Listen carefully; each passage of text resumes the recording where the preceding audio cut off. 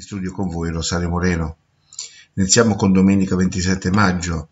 La notizia Turchia, la lira in caduta, in caduta libera rispetto al dollaro, così aumenta il peso dei debiti con l'estero e rischia anche l'economia. In questo quadro la banca centrale si è distinta per una quasi immobilità, difficilmente comprensibile se non fosse per le pressioni che subisce da tempo da parte del presidente Erdogan. L'istituto si è mosso solo mercoledì scorso per alzare il costo del denaro eh, 3, eh, dal 3 al 16,5%. Troppo poco e troppo tardi secondo molti osservatori.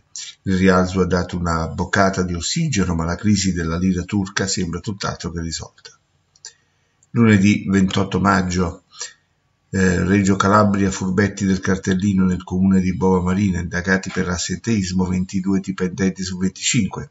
Su 25 dipendenti del comune di Bova Marina 22 sono indagati per assenteismo, per 5 di loro erano state eseguite, è stata eseguita l'ordinanza di interdizione messa, emessa dal GIP Davide Lavoro su richiesta della Procura della Repubblica di Reggio Calabria diretta da Giovanni Bombardieri. L'inchiesta della Guardia di Finanza ha così toccato l'88% dell'amministrazione comunale del piccolo paesino della zona ionica. In sostanza, 9 dipendenti su 10 non andavano a lavorare.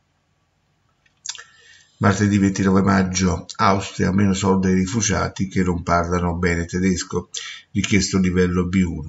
Il principio della riduzione del sussidio stabilito nella riforma dello Stato sociale. Il leader del partito di destra all'FPE, Heinz Christian Strack, dice i costi stavano esplodendo. Il premier Kurz contro le quote dei migranti. Mercoledì 30 maggio all'Italia indagati tre amministratori delegati cioè Cassano, Montezemolo e Kramer per bancarotta.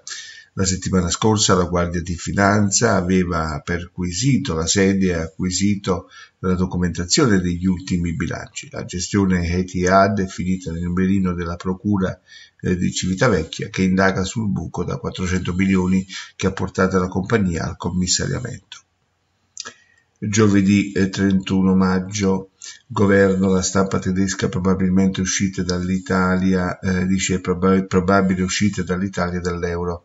L'ex ministro Fischer dice crisi peggiore di quella greca.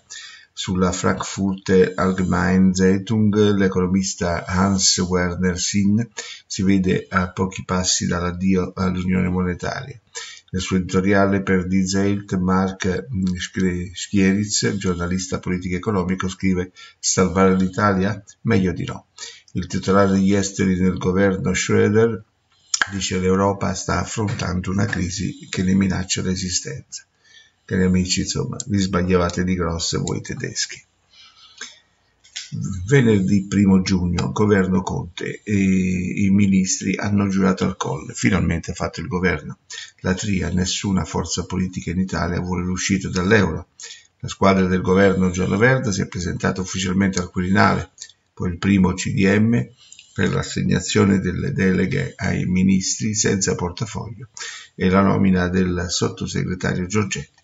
In serata le celebrazioni per la festa della Repubblica Mattarella dice Italia protagonisti in Europa. Il neotitolare del Dicastero dell'Economia difende la moneta unica verso voto di fiducia in aula martedì 5 al Senato e mercoledì 6 alla Camera.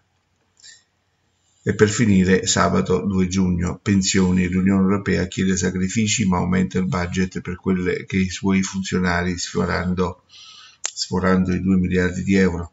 Nel bilancio 2019 un aumento del 6,2% del budget per pagare gli assegni agli euro burocrati in pensione, una cifra mai raggiunta prima. Eppure il trattamento è già da super privilegiati, ma il diritto alla pensione dopo solo 10 anni di servizio e ne godono a partire dai 66, in alternativa dai 58. La beffa dove sta? Gli importi sono calcolati con il metodo retributivo che l'Italia ha archiviato proprio su impulso dell'Unione Europea a partire dal 1995. E questa è una grande vergogna, cari amici, un'enorme vergogna per l'Europa. Bene cari amici, con questo è tutto. Vi ricordo che avete ascoltato RST Spazio 7, rassegna delle principali notizie che hanno caratterizzato la settimana appena trascorso. In studio con voi Rosario Moreno. Vi ricordo che RST Spazio 7 in collaborazione è edito da RST Science e Pianeta Oggi TV. Buon proseguimento con la programmazione.